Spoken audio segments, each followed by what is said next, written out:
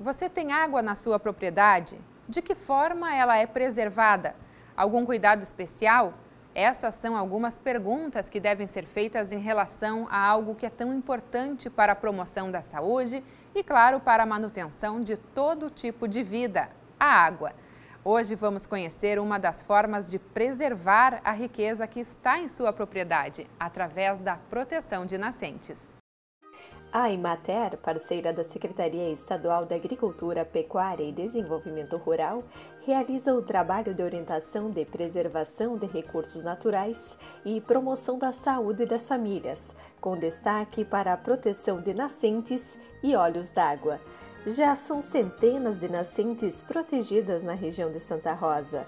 O processo consiste na construção de pequenas estruturas para a captação de água das nascentes, cercamento e recomposição das áreas de proteção permanentes em seu entorno, conforme legislações. Essas estruturas evitam o acesso direto de animais e de agentes contaminantes, o que contribui para a maior qualidade e disponibilidade de água nas nascentes. Inicialmente, né, para fazer a realização de uma fonte protegida, né, após contato do produtor ao escritório municipal da Emater, ah, nós realizamos uma visita em loco na propriedade para ver o local onde vai ser construída. A gente mede em seguida a vazão dessa água, ver se tem condições dela abastecer a família, se o local para construção é de fácil acesso e em seguida a gente faz o orçamento do material necessário. É importante frisar que ao adotar a forma correta de, de todos os passos para proteger a nascente, estamos interagindo de forma racional e sustentável ao utilizar um recurso natural. Ou seja, estamos estabelecendo uma relação harmônica entre o desenvolvimento humano, econômico e o meio ambiente. O uso consciente possibilita não só a sobrevivência do homem nesse contexto, mas também o seu desenvolvimento e a reprodução social. É o caso que vamos ver hoje aqui nessa família que está protegendo esse recurso natural e vai utilizá-lo de forma racional para uso próprio, para dessedentação animal, bem como para produção de alimentos para posterior comercialização. Como isso funciona na prática? É o que vamos conferir em uma propriedade no interior de Porto Lucena. No caso dessa família, para nós fazer a proteção dessa nascente, nós vamos utilizar os seguintes materiais. Aqui nós temos em torno de 150 tijolos, que nós vamos utilizar para fazer a estruturação da fonte. Nós temos também a pedra brita número 2, que vai ser utilizado para fazer é, a filtragem da água. A pedra amarroada aqui, né, que nós vamos fazer depois para fazer o preenchimento de toda a fonte. Aqui alguns canos de PVC, que vai fazer para fazer a, a para tirar o excesso de água para fazer também a limpeza dessa fonte. Né? Um saco de cimento, em torno de um saco de cimento para nós fazer ela e também um cano de PVC de 25. Né? Esses, é, basicamente é o material que, que nós vamos utilizar. E também a lona, dá em torno de 150 a 200 reais o custo, além da mão de obra. A situação da fonte nesse momento, nós podemos perceber que ela está totalmente contaminada. Essa água, na verdade, está imprópria para o consumo humano e também dos animais. Né? E após a proteção dela, né, através da, da resolução do CONSEMA 361, né, ela tem alguns passos que nós podemos desenvolver durante a construção dela. Que o primeiro é claro, nós vamos ter que identificar o local dessa fonte, onde é que a gente vai fazer a construção dela e fazer uma limpeza, uma limpeza bem apurada nela, tirar o excesso de terra que tem, né, para após iniciar então a estruturação da base, você vai estar tá, tá, tá fazendo a execução dela, colocando uma estrutura de tijolo e na sequência nós colocamos os canos, que é o cano que vai levar água para a propriedade do, do, nosso agricultor e também o cano extravasor que é para tirar o excesso de água. E, e, bem na parte de baixo nós colocamos um cano de 100 milímetros que é para fazer a limpeza dela. E na sequência então nós instalamos o filtro dela né, que é um cano de, nesse caso aqui nós vamos utilizar um cano de 25 milímetros, né, todo perfurado, rodeado de pedra brita número 2 para fazer a filtragem dessa água que vai para casa. O próximo passo seria colocar as pedras maroadas né, para fazer a, a, o preenchimento dela.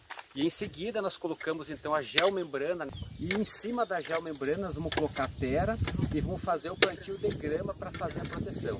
E o próximo passo então né, vai ser nós fazer o cercamento desse local. Nós vamos cercar ela aqui, plantar algumas árvores, né, para impedir que os animais domésticos tenham acesso. Esse cano branco que nós colocamos aqui vai ser feito para fazer a limpeza. Né? Após alguns dias de uso, né, nós vamos colocar um tampão aqui nessa parte, na saída da fonte aqui, e dessa encher de água.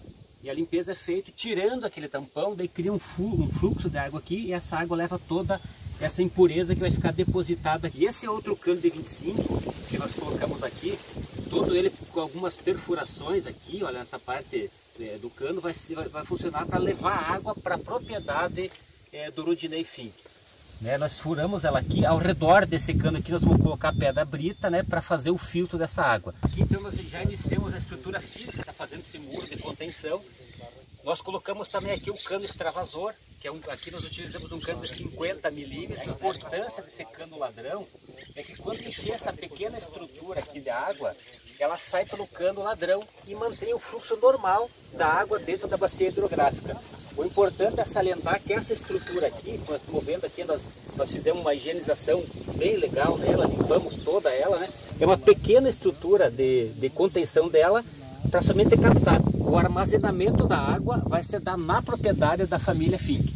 Através desse cano de 25, ela sai daqui, na parte do fundo aqui, e o armazenamento dela é feito na propriedade, justamente para intervir o mínimo possível nesse local. Agora então nós concluímos a etapa da, da estruturação da fonte. Ela está pronta, os muros de contenção e também aqui a parte que vai captar água, está tudo, tudo ok. Né? A próxima etapa agora nós fazer novamente uma limpeza aqui nessa parte interna e iniciar a colocação das pedras para depois fazer a cobertura dela com a geomembrana. Ao redor desse cano, nós vamos colocar a pedra brita número 2, tá? que vai proteger esse cano né? e vai também filtrar a água. Você vai colocando tudo ao redor do cano aqui as pedras. Em cima dessa brita, nós vamos colocando essas pedras maiores. Também tem que colocar com bastante cuidado, né, para não não mexer nos canos de água. Você coloca aqui, tem que ter o cuidado para deixar o cano que vai ser para fazer a limpeza ele aberto.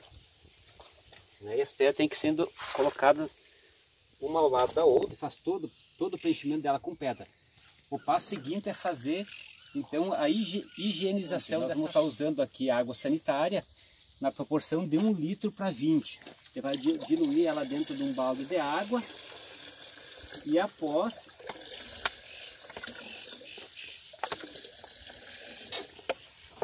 após a diluição então nós vamos derramar essa água aqui por cima da fonte nós já, já fechamos aqui a saída dela, né, para essa água ficar aqui dentro da fonte, em torno de uns 15, 20 minutos para fazer todo o trabalho de higienização. Então aqui nós vamos molhando, a gente molha todas as pedras, para fazer a limpeza dessa fonte. Então, nós colocamos essa lona em cima, que é uma gel membrana, é uma lona muito forte, ela é bem apropriada para fazer aqui a a finalização, após colocar a lona então aqui, nós vamos pegar um pouco dessa terra aqui e largar em cima. E após a gente vai plantar grama e fazer o cercamento dela, né? E se possível plantar algumas árvores para realmente proteger ela. Agora nós estamos colocando algumas pedras aqui para proteger ela. Que aqui desce uma pequena quantidade de água e essas pedras têm a finalidade de proteger contra a possibilidade de erosão aqui. A água ela desce por, esse, por essa mangueira preta que sobe na, nessa caixa de mil litros. E aqui a, o, o, projeto do, da família é colocar aqui ao lado mais uma caixa de 2 mil litros de água para fazer todo o reservatório aqui e daqui fazer a distribuição racional para a propriedade.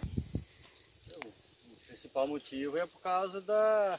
Em período normal sempre tem água à vontade na propriedade, só que daí quando é em período de seca, a nossa nascente ela é muito fraca. Daí não tinha água suficiente. Sim. Até pode olhar na caixa agora como ela corre bem fraquinho, sem a outra nascente, né? Então a gente e para trazer a água da rua, ela se torna muito inviável, é muito longe para puxar água. Então a gente fazendo a fonte vai dar, vai ter água suficiente para a família sem ter preocupação. Né? E nem para os animais não vai, não vai faltar. A irrigação da, do nosso, das nossas frutas, da, horta. da horta, tudo a gente uh, tinha que racionar, não podia molhar mais. Seu, seu Rubem e a dona Olga sempre moraram aqui na propriedade? Sempre. E a falta de água já é já de mais é tempo? De anos já que está faltando água assim sempre. Tem que estar tá racionando para lavar roupa, para tudo, até para o banheiro, a gente tinha falta de água. Não estava fácil. E agora, agora com essa fonte vai melhorar muito para nós aqui. Vai ser muito bom.